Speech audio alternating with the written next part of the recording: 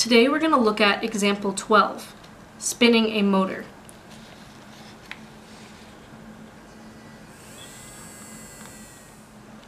For this example, we're going to have to use the following various parts. First, you're going to have to have a transistor. Note that there's a flat side of the transistor. Do not confuse this with your temperature sensor and look at the flat side and if it says 222A, that is your transistor. You also need one diode. The diodes look very similar to your resistors but are slightly different. They have a glass-like film around them and they come in two connected. This is the motor we're going to be using today. These two wires are going to be your positive and negative, and this is the part that we're going to be spinning. You need six wires, preferably of different colors, but again, it doesn't matter. And you're going to need one 330 ohm resistor that is orange, orange, brown, and gold striped. On page 66 of your SIK guide, you will find the diagram of the setup and then a step-by-step -step instruction on how to attach each part. We're going to go right in order from transistor to diode all the way down to your last wire. To start, take your transistor, make sure that the flat face with the 222A written on it goes outward away from your Arduino and put each pin of the three pins in A1, A2, and A3. For the diode, you're going to bend it just like your resistor, and you're going to put it at B7 and B11. Make sure that you have them in the right places or your circuit will not work. You may have to wiggle and push down to get it to go in, just like your resistors. Next, you're going to take your DC motor and the red wire is going to go into E7 and your black wire is going to go into E11.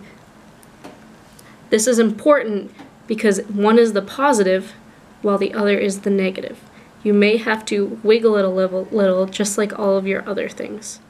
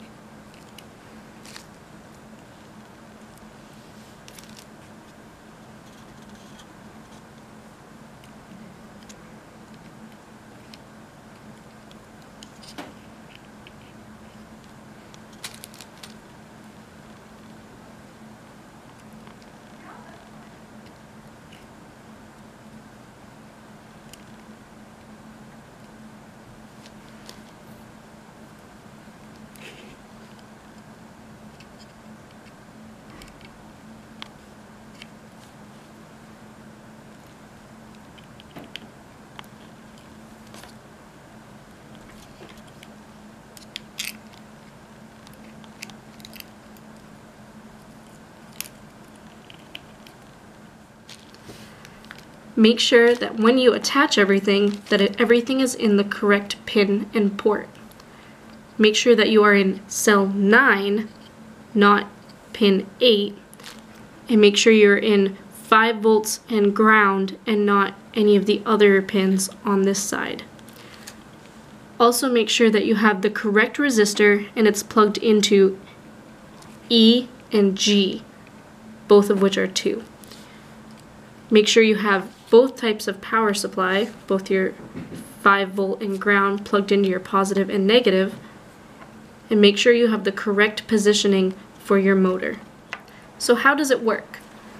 The power comes from the 5 volts from your Arduino. It goes up through directly into your motor. Your motor will start to spin, goes down through the transistor and back into the board from your ground. The transistor acts as a switch. When it is closed, the circuit is closed and the power can run through the motor. We control whether the transistor is open or closed from our software.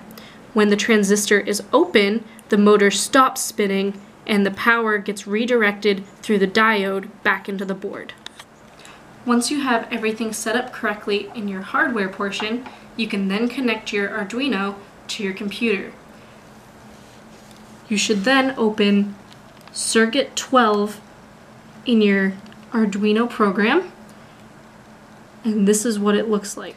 The most important part is the beginning, which sets pin 9 to your output pin.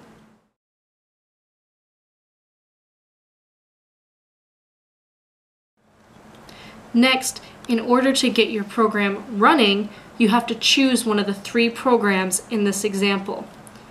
If we look at the main loop, you can see that there are three programs that are commented out.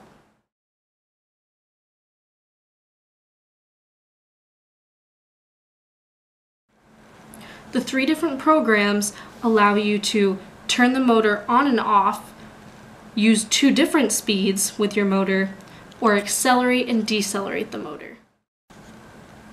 The simplest of the three programs is the motor on then off program, which sets a time for on and sets a time for off for turning the motor to run on and then turning the pin low for off. After you've uncommented the motor on then off program and you compile your code, you should then upload it and see the motor spin.